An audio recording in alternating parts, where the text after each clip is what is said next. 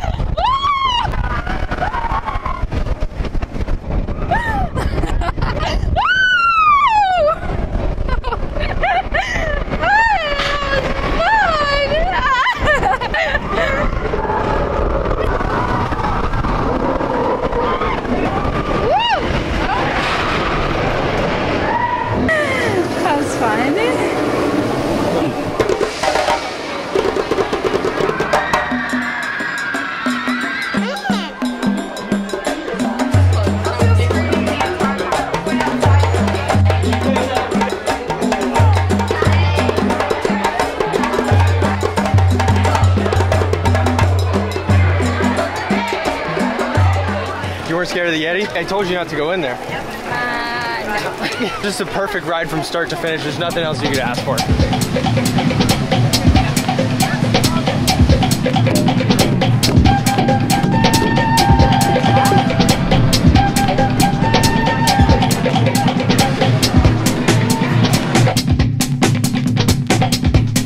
So it's just a regular Starbucks drink, but today we're in the parks, so it's a magic drink. I don't know what these birds are called, but they're so graceful.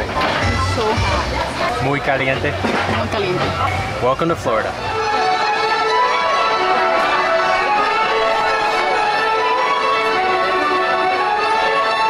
So Expedition Everest has been in refurbishment for the last three months. So today was our first time riding it and it was fantastic. Really enjoyed it. Even just the efficiency that they were moving the trains through, moving the line through, everything about it was great. Acabamos de salir de la expedición Everest. Fue genial, asombroso, me encantó. Eso es todo lo que yo puedo decir. Eh, lo que Austin estaba diciendo es que anteriormente le estaban arreglando y por eso estuvo cerrado por un tiempo. Corre con eficiencia. Así que vengan a chequearlo. So a few interesting things about this ride is I think this is the first time they've ever put it down for refurbishment because it's so popular they keep it up year round. A little background of the ride as well. I'll put the video right here of where I got this information. When they first made Animal Kingdom, it was actually also supposed to have a dragon and mythical creatures area, but they decided to postpone it when they first made Animal Kingdom. So by the time they got around to it, Universal had already made their own dragons area. So they decided to scrap that and started work on Expedition Everest, which turned out to be a wonderful ride. It was pretty cool. Just absolutely loved the ride, the theming, everything. Really enjoyed it. We also got to see a few minutes of the bird show today. I believe the bird was called the macaw, but I guess it's an incredibly rare bird. Beautiful bird, just absolutely beautiful bird. So if you're here, try to see if you can see that bird show right at the entrance. So we're actually working on an ultimate theme park video today. So if that video's came out, the link will be in the description. If it hasn't come out yet, then subscribe and hit the bell icon and it'll let you know when it comes out. Thank you guys so much for watching. Have a wonderful day. God bless you.